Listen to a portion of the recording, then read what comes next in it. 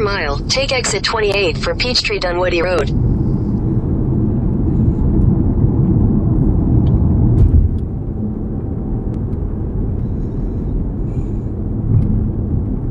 Take exit 28.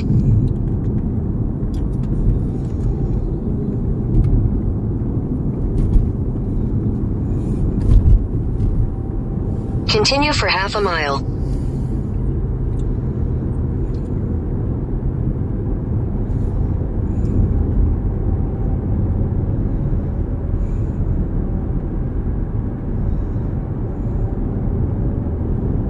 In a quarter mile, keep left to continue toward US 19 North.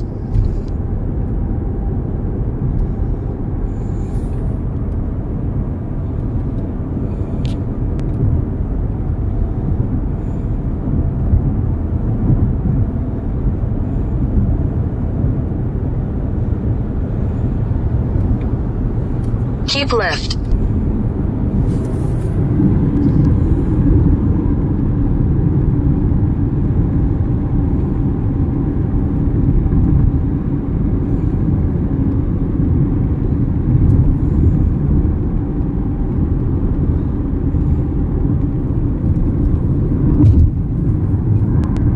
Right at the fork.